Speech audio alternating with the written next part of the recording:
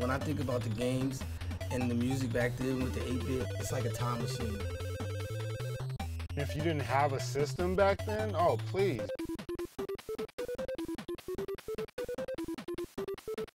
That 8-bit thing is a bit like a virus that's infected.